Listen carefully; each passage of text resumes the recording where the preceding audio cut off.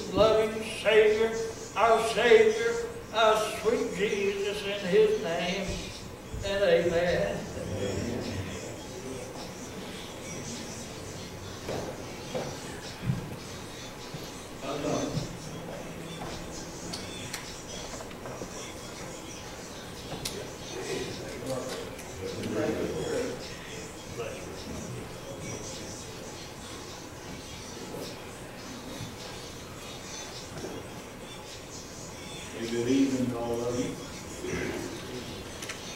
Another one to speak to everybody, and all. Thankful to be here to see all of you. And just being with you, and not with you, and fellowship with you. Blessed to have through the years,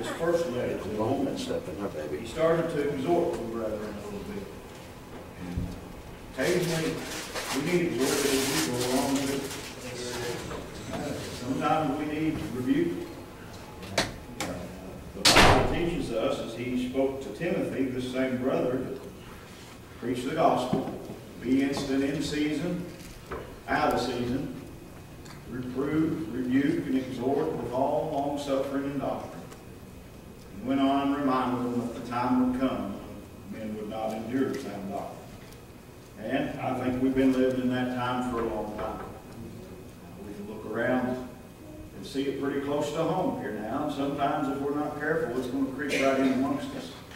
And uh, I'm thankful for elders that's got a lot of good counsel that we've still got around that can help us fend that off. But as uh, Paul began to close out here in this first letter, he uh, had read this, you know, he gave them a lot of good advice. Talked a lot about the resurrection, talked a lot about the good things to come, how they ought to live as Christians. As he started closing this out here, he gave them some more good advice. I'll just start in about verse 12, I think, and go down through here. You all pray. Paul said, And we beseech you, brethren, talking to the church, to know them which labor among you, and are over you in the Lord, and admonish you. We, we got to have a close relationship with each other as his church. Why is that? Because we need each other. I'm glad that there's some brothers and sisters that know about me and know some of the things I go to. I think it was around the Salem Sunday we talked about if I'm around, I use Brother Bruce on Sunday. If I'm around Brother Bruce long enough, I'll find some fault in him. If I'm around you long enough, I'm liable to find some faults in you too. If you're around me long enough, you're liable to find some faults in me. What are we supposed to do about them? Go talk about them to the other brothers and sisters? Let's take them to the Lord in prayer. The Lord can help us, strengthen us, help us to overcome some of these things. So we're to know each other, not just to find our faults. That's not the reason we're supposed to know each other. That we can grow closer together and help each other, be a strength to each other. We're going to have a lot of problems in this life. You know one of the tools that God uses to help His children more than anything is our brothers and sisters. Coming out to an old-fashioned service like this and listening to the gospel, it giving us a little bit of encouragement. Coming out to a service like this and hearing an old gospel song that may kind of cheer our mind up a little bit. That's what it's all about. So we need to, to know each other. A lot can be said about a lot of this, but there's some verse- verses on down here that I'd, I'd like to get to. And to esteem them very highly in love for their work's sake. Those brethren that's over you, admonish you, and those that you labor with. And be at peace among yourselves. Sometimes we've got to work hard to have peace. Sometimes we need to work hard to have peace in our own life. But I know where that peace comes from. I know where to tell you all find that too. Now we exhort you. He's already beseeched us. Now he's going to exhort us. Now we exhort you, brethren, warn them that are unruly. We're not doing what we're supposed to. What should we do? We need to warn them. Advice. Warn them that are unruly. What are we warning them of? I think we've heard that warning here down through the week. The danger of God's judgment being poured out upon individuals. Chastisement of God. What, what's even more than what's on this earth, being a, warned by a brother that stands where I am, or a brother in church, or a sister, is uh, hellfire on the day of judgment. We need to warn our people of that. Comfort the feeble-minded. I need comforted sometimes. Support the weak. Be patient toward all men. Some of those faults we got sometimes I mentioned a while ago, we need to be patient with each other. God's made us just like we are. God's fashioned us in our own personalities. Sometimes we got to struggle within this own flesh to keep it where that it needs to be. And through the Spirit, we can overcome every bit of it. See that none render evil for evil unto any man, but ever follow that which is good, both among yourselves and to all men. And he gives us some more good advice. Rejoice evermore. Sound like he's telling them that there's some problems you got to take care of. There's some unruly members you got to deal with. There's some folks that's feeble-minded. There's some folks you got to be patient with. But you know what? In every bit of all that, I'm thankful I can rejoice right in the midst of tribulation. That I can rejoice knowing that all around me, knowing that I might be taking my next breath, my last breath, that I can rejoice in knowing where, I'm, where my salvation is tonight. Thank the Lord. That I can rejoice in the hope that I've got, not in myself, not in each other, that I can rejoice in the hope that I have with Christ Jesus our Lord. And I thank my God for that. Rejoice evermore, not just when it's going good for you. Uh, rejoice evermore, rejoice. We've told them sometimes, sometimes they'll say, well, I don't feel like rejoicing. Do it anyway. You may start feeling a little better when you start doing that. Do it anyway. I didn't feel like coming to church tonight, you may say. Go anyway, and you might get a blessing out of going. I don't feel like raising my hands and saying, thank you, Lord. Do it anyway, and you might get a blessing out of it. I don't feel like praying right now. Do it anyway, and you might get a blessing out of it. When we deny ourselves and put forth a little more effort, we're, we, we're liable to get a blessing. Do You think us brethren, when we get up here, hit the floor every time, running, preaching every time we stand in the pulpit? You know what we've got to do, these brethren, this week, and Brother Don, all the years he's been preaching, we've got to put ourselves to the side. And we've got to put forth a little bit of effort on our part. And when we start working, even though, as he said there, be in, in season and out of season. When we don't even feel like it, I think there's times that we'll stand here that we feel like we're so far away from God. He's told us to still go right ahead and tell him what you're supposed to. And that's the way we've got to do tonight. So rejoice right in the midst of problems. Things are going good, rejoice.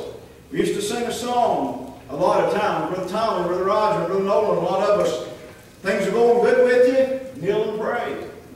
Things are going bad with you, kneel and pray. We need that. We need that as we go on. Then he says in verse 17, pray without ceasing. There's no place that I read in this book right here that we can stop praying. Now, that don't mean from the time we wake up to the time we lay down at night that we're constantly muttering a, a prayer on these lips of ours. There wouldn't be anything wrong with it if we had the time to do it. But he's, he's wanting you and I to continually grow in prayer. I think I mentioned here the other night about these older brothers and sisters that we're with, and they feel like they're not as much used to us anymore. But I'm thankful for the wisdom that's panned up in these, these heads of theirs. And I'm thankful that they've matured and they've grown as they've gone along. They, they were supposed to. We're all supposed to mature and grow as we go along. There's no place to quit. There's no place to stop. We've heard the old brethren say there's no place to retire when we're a dead first fella laying here before everybody. That's when we're coming down to the point we can say we're retired. That's right. So when we're laboring and we're working, we're continually growing as Christians. We're continually maturing as His people here on this earth. And I'm thankful today that as we add to this, I heard what your daddy said, and I referred to it before, Brother Don. Brother Nathan said, I was just a young boy, 15, 16 years old. He was uh, in his 90s and stood and preached and done a wonderful job, and no doubt a lot of knowledge had been canned up in that head of his. He came to me, as I remember right back here in the old building, out on the porch out there. He came to me before service and he said, I'm, I'm just about finished with my race. I'm just about done with my ministry. He wished, he said, I wished it was like a hat, a helmet. I could just take off everything that I've got and I could just hand it over to you and you put it on as a young brother and take right off where I'm quitting here. But you know, it doesn't work that way tonight. We've got to continually grow ourselves. And if we stop our prayer life, and we've been so much focused on prayer in our, our personal life lately, and there's so much to it that I think prayer that we've been neglecting in our all our lives as we've gone along, that we need to understand that there's every great movement, everything that's happened in Scripture, when God began to do a wonderful movement, you know what was behind it? The church was praying. The revival, I will mention the old building over here, the revival I was saved in at this church back all 30 years ago, but went on for several weeks, Brother Don.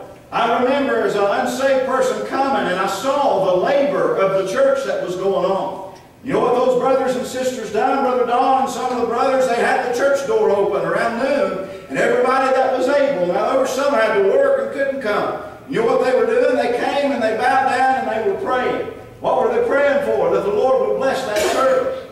Now, let's ask ourselves here tonight, how many of us has taken time out to particularly pray for this service right here tonight? How many of us? I'm not asking you to raise your hand. How many of us have actually took time to pray for this service? If not today, down through the week. If our prayer life would reflect what we want down on the inside and we're talking to God, is it, is it God's will to bless us? Is it God's will to bless this revival? Amen. It is. It's His will. Amen. But sometimes we as His children, we're not doing what that He wants us to do. Yeah, we're here, we're going through the motions, and we're going and, and, and being attentive, and we're trying our best to go through it. But until we fully, completely give ourselves to God and to what He wants in our lives, to use us as He could see fit in our life, not just here in this service, but out there, and we're not going to see the movement of He would like to move. So pray without ceasing. You brothers and sisters, don't quit that. Keep praying. Keep on growing in prayer. Keep on doing it morning, as Daniel back there many times, other old brothers do it more than three times a day. Pray without ceasing. In everything, give thanks. I don't mean again, rejoice evermore, as he said. I don't mean just when things are going good. In everything, give thanks. Well, I'm going through the worst time. I've lost this, I've lost that. Death is here, sickness here. Thank the Lord anyway.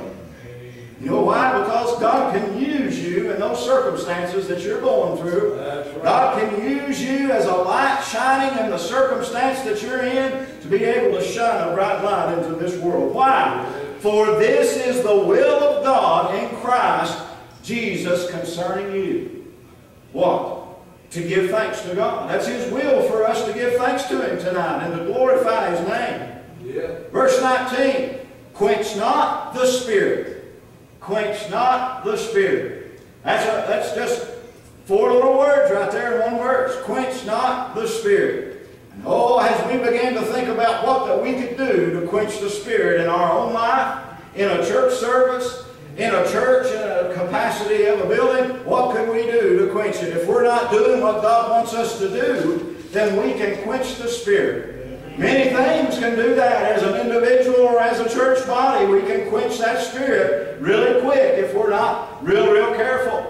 Seen it many times in church services. Have a good, warm meeting, and all at once at the end, it's just like they pour cold water on it just because of what one brother might do or say, or one sister might do or say. I've seen it happen. So what should we do? We should try to stay tuned in with that spirit so that we don't quench the spirit or put it out, to put it out and do what he doesn't want us to do. What can we do and put it's just like having a fire and you quench that fire and you put that fire out. As he began to speak back there to one group of people, he began to speak about uh, that a bruised reed would he not break. You know what that is? That's just an old stalk that he would come along, he'd find that reed there, and if it had been bent or that had been bruised in some way while that it was green, when it dried out, there wouldn't be no use out of that reed because it had a crack in it. But you know what? The Lord ain't going to take something that anybody else will just throw off to the side and not use. The Lord can take that and He can use something that may have a flaw in it. Remember, we've got faults, every one of us. And I'm thankful today that this little bruised reed right here that he didn't throw off to the side, that he's able to take his blood and he's able to take care of every fault, every sin, every shortcoming that I've got in my life. And he's able to take care of that in my life and in your life today. So he said a bruised reed, he's not going to break it and throw it off to the side. He said, as we talk about quenching the spirit, he said, a smoking flax would he not quench? That's like a, uh, just think of a wick that's burning in a candle. If it don't have any oil in it, what's going to happen? It's just going to start smoking the globe up, smoking the house up, because there's no oil in there. They just take it and throw it away when it didn't have any fuel in it because it wouldn't do anything but blacken up the wall and everything else around it. They would take that smoking flax and they quench it, they put it out. But Jesus said he wouldn't take a smoking flax and put it out. But you know what he's able to do? He's able to take a little bit of oil of gladness and pour down upon it so that it's able to get a little bit of fuel to be able to brighten the light that might be shining rather than darkening up the globe as we go on. What did he tell us about our light? Shine it into this world. He told the church, you're the light of the world. Say a city that's set upon the hill which cannot be hid. So allow that light to shine into this world of darkness. Don't put it under a bushel. Don't be lazy. Put it under the bed. Don't be lazy and put it back under the bed to where nobody can see it, but put it upon the doorpost or in the window where everyone passing by can see it. Don't put it under that bushel where your work and everything else is going to uh, hinder the light that's shining out and all the things that you may obtain in this life. If you're not careful, it'll dim your light. But He's wanting us to allow it to shine brightly in this world of darkness today. So let's allow that oil of gladness to be down on the inside of this vessel. And let's not be like those foolish virgins like that, they began to go and try to find some oil for their vessels. What happened when the, the crowd began to come? They began to go try to find some. We don't have any. And the ones that did have some, they said, we can't give you ours. We've just got enough for ourselves. You can't do that. We find some folks one time in the scriptures, that in the book of Acts, that tried to go buy the gift of the Holy Spirit. And they, well, what they found out, you can't buy it. You can't buy this with money. Old Isaiah, we spoke of that river the other night, that water of life that's flowing just as free today, which is this Spirit that He's told us not to quench. Old Isaiah began to speak, said, Oh, come buy with that money. You can drink of it. You can have something. You can have something to eat down on the inside and it won't cost you a dime today. Why? Because God has fixed it up. that it doesn't take material things, but it takes things that He has spiritual. And He's wanting this right here to be submitted unto Him. And not just at the time we're saved and we give it all over to it, but He's wanting this right here to be given to Him continually as we go through this life. And from the time that we give it to Him to the time the last breath goes out of it, we're to continually submit ourselves unto Him. And if we'll do that, bless God, we'll have what we need as we go through this life. We won't have to ask our neighbor or our brother us something that we can be able to sustain ourselves until death comes up to us, but He'll give us exactly what we need to allow us to supply our needs according to His riches and glory. Lay not up for yourselves treasures on this earth, where moth or rust doth corrupt, or thieves do break through and steal, but rather lay up for yourselves treasures in heaven, where He said none of that would come. The moth can't corrupt it, the rust can't corrupt it, and none of those thieves can come in and take it away because God has it in safekeeping today. And I'm thankful for what that He's provided for us as we go through this world. That fire that He's lit down on the inside of us, if we're not real careful, it'll just start flickering. It'll start getting dim. But bless His name forevermore. Let's allow it to shine brightly in this world of darkness so that He'll give us the tools we need to put out some other fires that come our way and that the old devil's trying to throw our life. And you know what he's doing? The Teaches us in the book of Ephesians that he began to speak about fiery darts coming our way. But he's provided us with something that's able to quench every one of them and put those fiery darts out as we go along with this armor that he's provided for us. And he said we can quench all the fiery darts of the wicked. And if we have what that he supplied us with, with all that armor and that sword of the Spirit, uh, which is the Word God, then we'll be able to do what He's told us to do as we're living here on this earth. Uh, so let's be real careful not to quench that and not be able to do the things that we shouldn't do. How can we quench it? Uh, there's many things we can do to quench it if we're not real careful uh, to do in our own life as a person uh, as we go in this journey of life. Uh, so let's, let's have our, our heart and our mind, our spirit tuned into Him and He'll lead us in the right direction as we're living here so that we won't do the wrong thing. Uh, we spoke the other night about that Spirit. Uh, that He began to say, the Spirit is saying, come. Uh, that Spirit is saying right now, tonight, it's speaking to you and I. The Apostle Paul began to speak to Timothy again, I believe in about the fourth chapter there, when he said, The Spirit speaketh expressly on this wise. You know what it started saying? That there would be some heresies that would come along. That there would be some men that would come along and start tickling men's ears and that people would be drawn away at their own lust and enticed as they began to go with their damnable doctrines as he began to advise them. And we can look around as he said right here at Thessalonica, we can see as Paul began to declare unto Timothy uh, that that same thing can occur in individual lives and it can occur in churches as well if we're not really careful. Listen that Holy Spirit of God as it begins to speak to your soul and it will guide you away from some of this rotten doctrine that's all around us. My friends, tonight, the old Baptist doctrine that we've held to for many,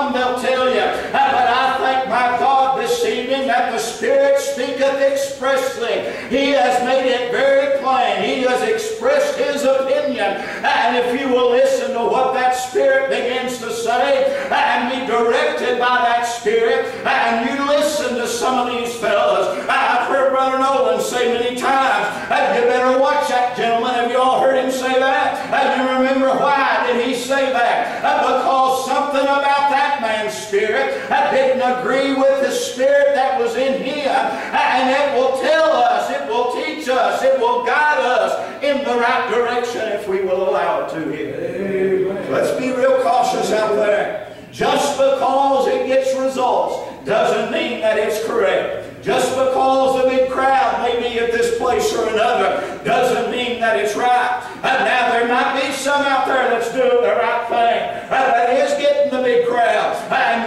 See how that God works. We can see God working in different places. And let's not get so blinded to just us right here in old Bethlehem. As these brethren have preached over and over and over again, we're not the only little bunch. And God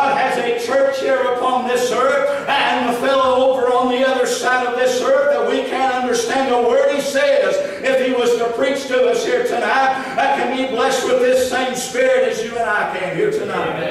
That's how God works, and I'm thankful for that. So let's be careful not to quench it. Let's not put it out. Let's allow it to do its work in our life. And if we try our best to do what that He wants, uh, we can very easily uh, allow that Spirit to continually grow in our life while that we're living here on this earth. And if we will follow after Him, He will direct us. He will call. He will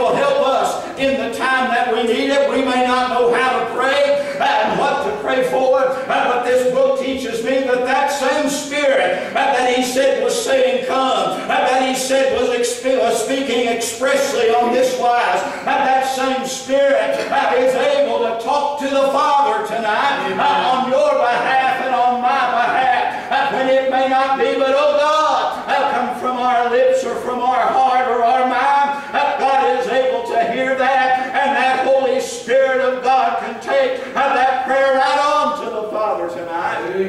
You see, He's part of the Father. Let's not forget what that Spirit is that we can quench it as part of that uh, triune God that we uh, serve and we love of God the Father,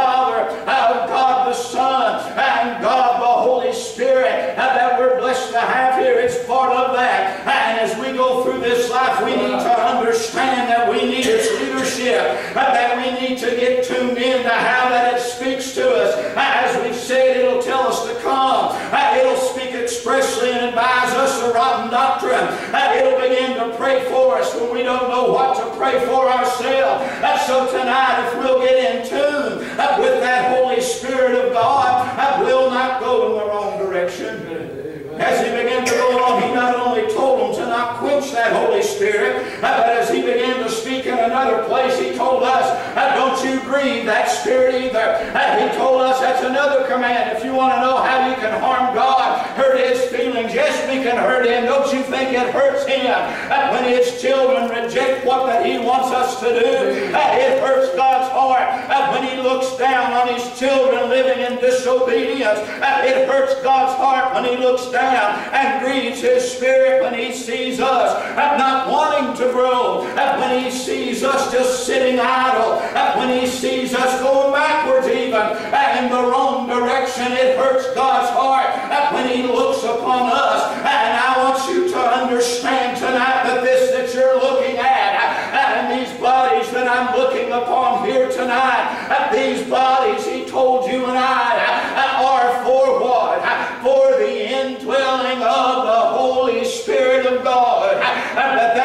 Has come in and dwells in. This body is for the indwelling of that Holy Spirit. And if we're not real careful, think about what it done back under the law. The Shekinah glory of God came down to that temple there at certain times and dwelt there. But now He's dwelling inside of me and you tonight. That's something we ought to be happy about. We ought to rejoice about. You talk about rejoicing evermore. That ought to be something we thank Him for this evening. And being in all things. Yeah, and the bad thing. That's a good thing we can thank Him for tonight. For that precious Spirit. And that living water. And that speaks to us. And that advises us and helps us to steer us away from rotten doctrine and people that might deceive us and that'll pray for us when we don't know what to pray for ourselves. That's something to rejoice and remember about. And that's something to have a thanksgiving in our hearts for tonight. uh, To be able to give Him glory and praise and honor for what that He's done. To think about this Holy Spirit that comes in the believer and begins to dwell on the inside and takes up His abode in this body that we're living in. Tonight when it took up its residence in here. That Spirit tonight, when you look upon something with that Spirit living down on the inside of you, that Spirit knows what you're looking at. It knows if you're looking at the words of this book every day and reading it or not. It knows if you're closing those eyes and beginning to talk to God through that Spirit or not. And it knows if that eye and to look upon things that you should not look upon. A little song that the children sing sometimes. Be careful, little eyes, what you see. And oh, no greater thing can be said for that spirit that's down here uh, when these eyes are looking where they shouldn't be. Uh, that grieves that Holy Spirit down on the inside.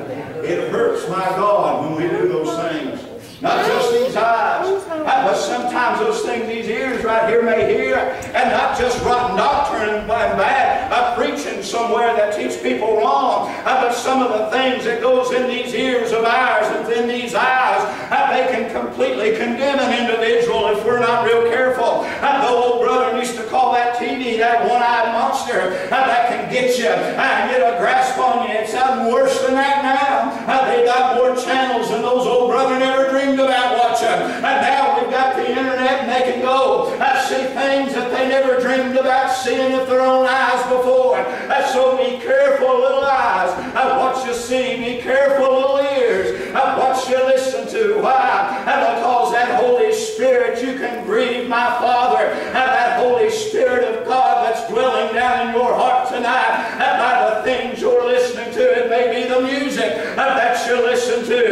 May be the TV programs that you're watching and listening to. Uh, it may be those buddies at work that you're listening to. And some of the things that they're saying and doing, thinking it's all uh, and fun and good times. Uh, but it's totally filth and contrary to God's Word. Uh, you know what this book teaches you and I? He says we will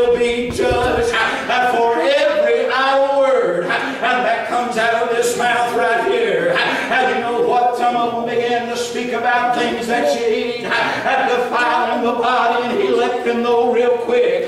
It's not altogether what goes in the body that defiles it, but what comes out of it. Amen. This tongue right here is an evil member full of deadly poison. You can kill a brother or sister with it. It is deadly. Oh, my friend, tonight we ought to be very cautious with what that it is. These eyes of ours, you can commit adultery and fornication with these eyes right here. Just by looking on a man or a woman, you brothers and sisters, and having that desire swelling up on the inside of you to do those things with them. And my friend, tonight we ought to be very cautious uh, because we have that Holy Spirit dwelling in us and to be able to stay away from those things and not uh, touch with these hands as the Scripture began to advise us to touch not, handle not of the unclean thing. And because He's told us that we've come out from among the world and we're separate tonight.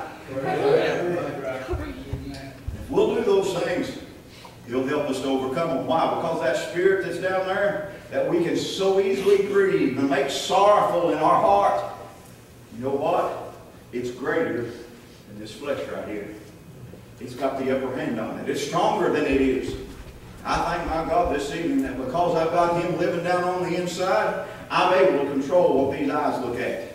I'm able to control what these ears hear. I'm able to control what this tongue speaks because of that spirit down on the inside. I couldn't control these eyes or ears or tongue or this flesh. I couldn't control any of that without that spirit that's dwelling on the inside of us. Because it teaches us, it speaks to us, it condemns us. If we're not real careful, he'll, he'll begin to use that chastening rod. What's the Bible say about that? He says, those that he loves, he chastens. I'm thankful for those whippings. Have you ever had a whipping, church? Has he ever whipped you? If he's not whipped you, you might begin to look at yourself and take an inventory, find out if you're where you Because every one of us have experienced that chastening rod of God that condemns us. He's blessed us to have enough sense in these heads of ours to know when we're going the wrong direction and that Spirit will speak to us. Help us and help us lead in the right direction. So tonight, let's allow this right here to guide us. Let's be real careful not to quench it. Let's be real careful not to grieve it. Because if we do that, God is not pleased with us. We don't want to make him sad. We don't want to make him happy. That's why we're here tonight. We're not here to grieve him. We're not here to grieve him in this service. We are here to praise him, to give him glory, to give him honor for everything that he's done in our lives. To uplift a service that will be pleasing to him this evening because he's done so much for us and we do so little for him. So let's try to step up a little bit and not be mindful. Let's all be mindful where he's at right here. He said that kingdom is within you. It's down on the inside of us. That Spirit of God is down on the inside of us. He's able to help us as we go through this life. Remember what he told that woman at the well we referred to the other night? He said it would be a well of water springing up on the inside of you. There's that Spirit unto what? Unto everlasting life. So let's take it and get it on the inside. I, you, you, and me, take a drink of it, get it on the inside, and continually have that desire to drink of that fountain. He'll not lead us in the wrong direction. Amen. Don, I'm just going to quit right there. Maybe somebody, if you want to close out, or go ahead, whatever you want to say. Go ahead and close out. Tom, players, come on up.